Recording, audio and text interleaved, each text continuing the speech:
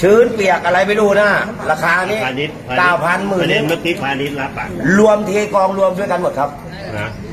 พ่อค้าเทรวมกองนั่นแหละธงเขียวธงแดงธงเหลืองคือประเด็นอที่ยู่พูด้วยดกันหมมาดนี่หมายความว่ามันควรจะเริ่มตั้งใช่ตั้งกับตั้งแต่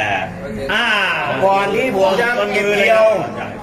เราเห็นน้อยเลยอะน้อยมาต้นเดือนพฤศจิกาเพราะว่าเราให้เกี่ยวออกวางมาตรการก่อนที่ผมจะมีปัญหาหรือแล้วงานก็ทำอะไรไม่ได้ตุลาเราลงพื้นที่ก็คือให้ทักข้า วแล้วให้วัดความชื้นด้วย ใช่ แต่ว่าความชื้นเนี่ยจะเกี่ยวให้แห้งก็ได้ แต่อย่าตินะว่าผลว่าตีราคาถูกอะจะเอาความชื้น 15เปอร์เซ็นต์เดียวผมจะเกี่ยวให้แก๊กเลยก็ได้หมื่นห้ามาผมจะเกี่ยว คือถ้าถ้ามันจริงๆนะถ้ามีการวัดเลทข้าวเนี่ยผมว่าจะดี มันจะได้รู้ไงราษฎรจะได้รู้ ถ้าข้าวนี้ผิดเดี๋ยวเราไปดำเนินการได้เพราะไม่มีครับอ่าอย่างเนี้ยได้ไหมเนี่ยเห็นไหมความชื้นเป็นศูนย์อะ พอความชื้นทุกความชื้นคือถ้าข้าวนี่คือไม่เมื่อลงความชื้น เมื่อลงจูแทงข้าวมาปุ๊บเขาจะวัดความชื้น จับขึ้นปุ๊บเขารู้เลยนะเท่าไหร่ประมาณการเลย อันนี้ลงฟรีหรือถ้า ดูแล้วก็แจ้งร้องเรียนมาแสดงว่าเขาซื้อเหมาใช่ไหมใช่ครับซื้อเหมา ผู้ใจอยากได้เท่าไหร่ก็ได้ต้องตีเหมือนกันอย่างเดียวแล้วก็